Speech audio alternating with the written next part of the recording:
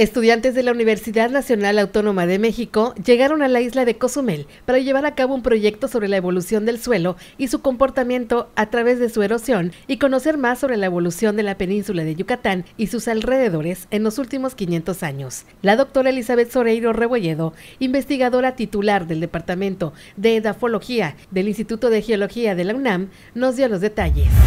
Pues nosotros tenemos un proyecto que trata de ver cómo evolucionan los suelos de la, tanto de la península de Yucatán como de las áreas aledañas con el objetivo de ver eh, diferentes tipos de cosas, ¿no? Los suelos, cómo se comportan en el paisaje, cómo se erosionan y al mismo tiempo determinar los diferentes estratos de roca calcárea y que nos hablan sobre la evolución de la península y de los alrededores en los últimos quizá 500 mil años.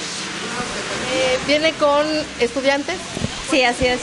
Tenemos aquí a cinco estudiantes, a un colega técnico académico y a una chica que nos acompaña local de la universidad local.